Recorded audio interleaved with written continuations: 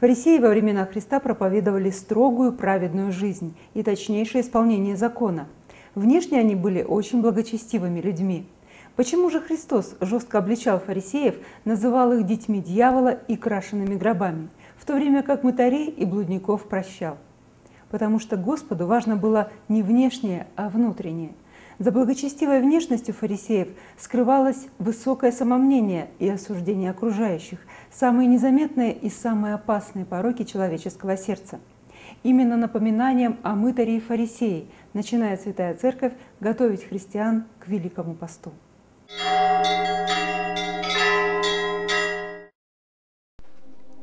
Великому посту предшествуют три подготовительные недели.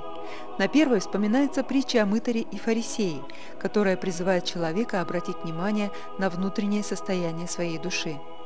Притча напоминает о гордыне, как главном источнике грехов, и о смирении, как начале покаяния. Эта неделя сплошная, то есть поста в среду и пятницу нет. Во второе воскресенье в храмах читается Евангелие о блудном сыне – Притча о том, как нерадивый сын забрал свою долю наследства, расточил все свое состояние и с покаянием вернулся к отцу. Следование своей воле, своим желаниям неизбежно ведет к отступлению от веры, к духовному заблуждению и обнищанию. Притча о блудном сыне также показывает пример великого милосердия Божия. Ни один грешник не должен отчаиваться в благодатной помощи Отца Небесного. На второй седмице постные дни, среда и пятница, возобновляются. Суббота этой недели – Вселенская родительская. Церковь в этот день совершает поминовение всех усопших от Адама и до сегодняшнего дня. Особые молитвы возносятся за скончавшихся внезапной смертью, за тех, кто не получил церковного отпевания. Поминовение усопших побуждает живых вспомнить о своей неизбежной кончине и не прилепляться душой к тленным вещам. Третья неделя о страшном суде, который ожидает всех. Это момент, когда остановится время, когда поздно будет каяться и творить добрые дела, когда тайное станет явным. В песнопениях этой седмицы церковь призывает к сугубому воздержанию. Эта неделя считается предочистительной, преддверием покаяния. Из рациона исключается мясная пища, поэтому она именуется мясопустной или масленицей. Последнее воскресенье перед Великим постом в народе называют прощенным. В этот день читается Евангелие об изгнании Адама из рая. Вслед за Адамом все человечество оказалось за вратами рая, и теперь покаянием, духовными трудами старается найти и вернуть утраченную когда-то живительную связь с Богом.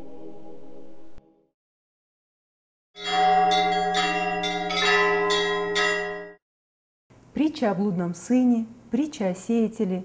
Через притчу сам Господь может коснуться сердца человека, заставить его сострадать, каяться, сожалеть, плакать. Вот и современная актриса Светлана Копылова разговаривает со своими зрителями языком песни-притчи. Сюжеты, взятые из священного писания или духовной литературы, преподанные в форме притчи, пробивают броню суеты, привязанности к земному, ежедневных хлопот и поднимают в область духа потрясают человеческие сердца. По благословению митрополита Читинского и Петров-Забайкальского Владимира Светлана Копылова дала концерт в Чите. Фрагмент интервью с актрисой предлагаем вашему вниманию. Здравствуйте, уважаемая Светлана Вадимовна. Я очень рада приветствовать вас в нашей епархиальной телестудии. Вы по профессии киноактриса, и в вашей жизни был один интересный переломный момент. Расскажите, пожалуйста, о нем. Когда я начала делать первые шаги э, в храм, я стала более разборчивая в ролях. То есть если мне предложили, допустим, сыграть э, алкоголичку, которая убила своего мужа по пьяни, э, вышла из тюрьмы, продала свою дочь, и за этим ничего не стоит, никакого обновления души, ничего, то, конечно, я от таких ролей отказывалась, допустим. Но вот было искушение, когда мне предложили сыграть в рекламе сигарет. Ну, казалось бы, ничего такого особенного нет. Баннер, обычный баннер. А, мы сидим э, с моим партнером за чашечкой кофе. И внизу просто марка сигареты. То есть впрямую вроде бы я не рекламирую. Вот, согласилась я на это дело, вот, но благословение я не брала. Боялась, что не благословят. Вот. И потом, естественно, я пошла на исповедь. И батюшка очень серьезно со мной поговорил, э, очень просто сказал о том, что ну, в какой-то момент в жизни приходится все равно делать выбор. Что ты выбираешь? Или Бога, или Мамону. Я помню, на меня очень произвел впечатление этот разговор. Я для себя тогда, стоя у креста Евангелия, решила, что я не буду больше в таких рекламах сниматься. И что вы думаете? Проходит ну, неделя, не больше. Снова раздается звонок, и снова мне предлагают рекламу сигарет и еще большую сумму денег. А мы тогда, э, были трудные времена, 90-е, э, работы было очень мало, и проблемы были тогда, я помню, и у мужа с работой. И вот надо выбор делать. И я набираю в легкие воздуха, и говорю, я в таких рекламах не снимаюсь. И положила трубку. И что вы думаете?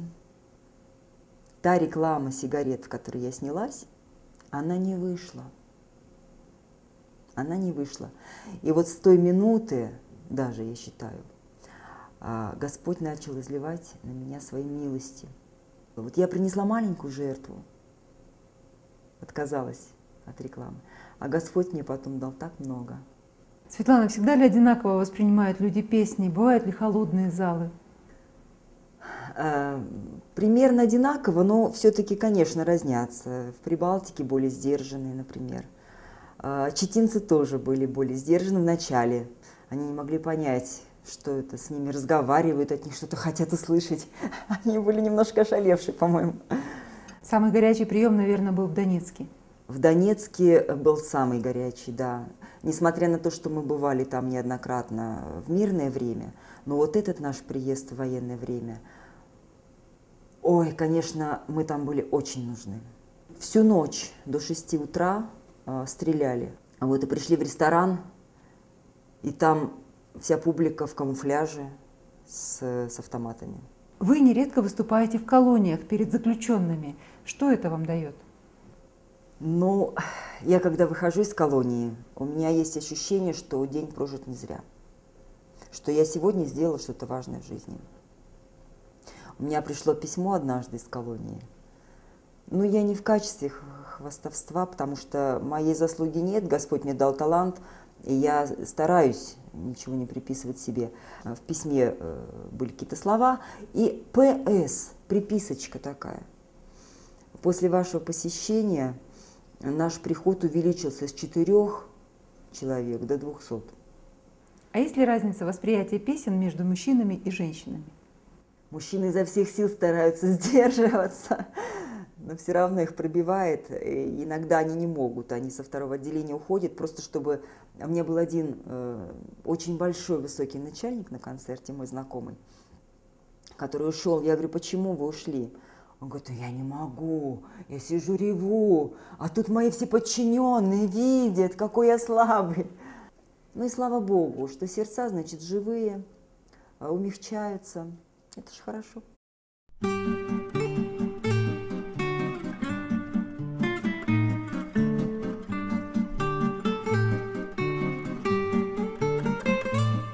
В монастыре перед иконой мужчина пожилой стоял И неумелою рукою себя крестом он осенял. Быть может, вам помочь могу я, спросил участливо монах. Вдруг видит, задрожали губы, мне очень исповедь нужна Тряся седою головою и поправляя галстук свой Он говорил у аналоя о том, что мучило его, как лет назад, тому пятнадцать, Пришла к нему одна вдова, И как заламывая пальцы, С трудом произнесла слова. Мой сын подросток, очень болен, По телу язвы до костей, Нигде, как за границей, Только не излечить нам язвы те. Есть люди добрые в России, Они могли бы денег дать, Вдова помочь меня просила, И я им взялся помогать. Я разместил во все газеты Те фото, где он в язвах был, И деньги полились в то лето На счет, который я открыл. Не знаю, что со мной случилось, Я стыд и совесть потерял. Там денег много накопилось, Да только я их не отдал. Я путешествовал по свету, Но через год увидел вдруг На коже дочки Пятилетний ужасный язвенный недуг. И вот, устав от боли плакать, Шептала дочка мне тогда, За что же, папочка, мой папа, Такая у меня беда. Тот голосок дрожащий, тонкий, Меня преследует всегда. Я не успел спасти ребенка, А может быть, Господь не дал. Он плакал, слезы вытирая, Измятым галстуком своим. Я ваше горе понимаю, Я в детстве тоже был больным. Я помню тело в страшных язвах Перед иконой мамин плач. И я поверил, хоть и не сразу, Что есть еще небесный врач. И я ему молился долго И даже обещание дал, Что если исцелюсь, то Богу Я жизнь свою тогда отдам.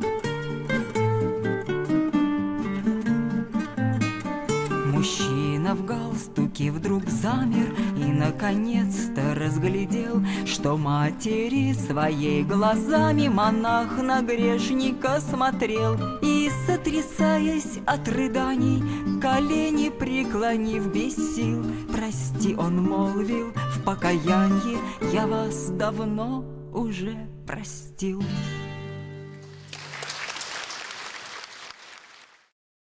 Вместе со своими зрителями вы восстановили храм преподобного Сергия Радонежского в Липовке. Известно, что в его строительстве принимал участие сам Тихон Задонский, и он совершал там богослужение. На каком этапе сегодня восстановление этого храма? А, Сейчас самый э, такой красивый, наверное, этап – роспись.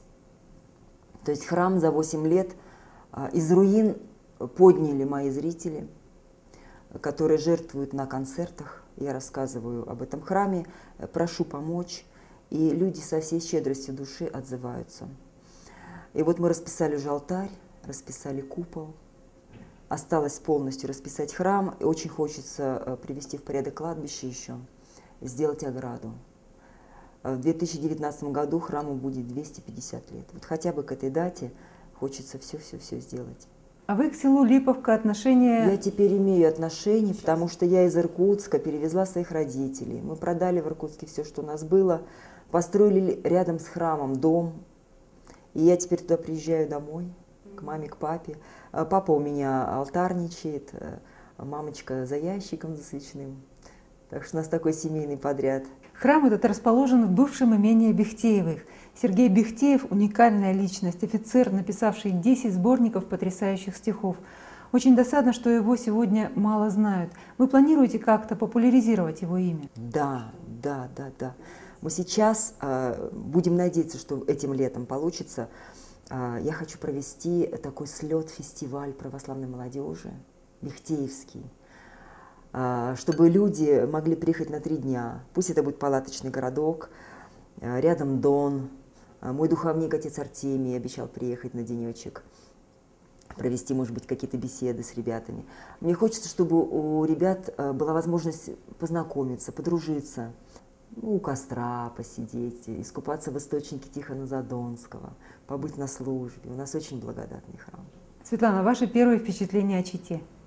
Вы знаете, я ведь э, бывала в Чите в детстве. У меня здесь родственники живут. И я э, отдыхала несколько раз в Беклемишево. рыбачила, э, дергала окуньков с лодки. Потом мы их копчеными ели. Да. Поэтому у меня воспоминания такие очень светлые о Чите.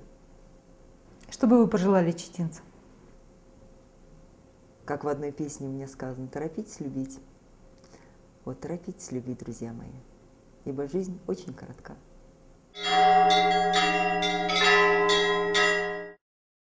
В энциклопедическом словаре Брагауза и Фрона говорится, что притча в греческом языке носит название паремия – припутная, то есть указывающая путь. Действительно, очень важно в жизни руководствоваться прежде всего духовными законами, ведь нарушение их обходится дороже всего. Желаю вам в эти дни подготовки к Великому посту терпения и твердости. До встречи через неделю.